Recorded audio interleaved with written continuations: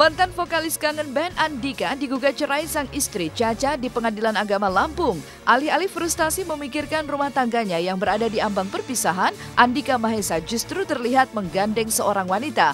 Bahkan kebersamaan Andika dan wanita tersebut sempat dikabarkan lantaran keduanya telah menikah siri. Lalu benarkah Andika nekat menggandeng wanita lain lantaran keluarga sang istri meminta Caca bercerai dari Andika pasca karir bernyanyinya selesai? Kasih bang, bentar bang, kita istirahat dulu bang. Ayo. Hah? Gimana? Pengajuannya gimana bang?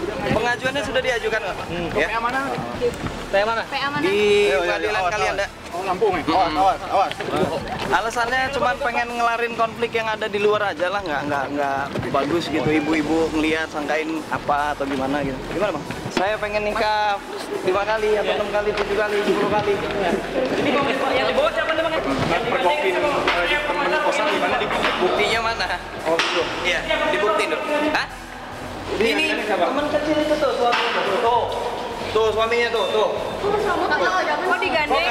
Kan dia cewek, takut nanti ketabrak-tabrak makanya saya bawa. Kan ada suaminya. Iya, itu suaminya. padamu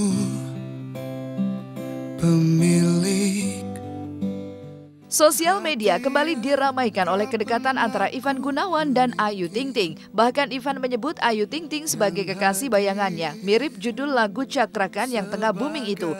Tak hanya itu, kedekatan Ayu dan Ivan pun diharapkan netizen segera berakhir dengan sebuah status yang jelas. Namun